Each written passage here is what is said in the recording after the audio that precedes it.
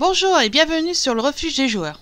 Buzzier arrive sur Nintendo Switch le 21 janvier 2021. C'est un jeu de tir. Ce jeu raconte l'histoire de Lâche Noé qui, hélas, a mal tourné. La narration aborde des sujets tels que la relation entre l'évolution et Dieu, la famille et l'amour. Ces thèmes amènent Dieu à s'interroger sur ses motivations. Allez-vous aider l'Arche de Noé à aller plus loin?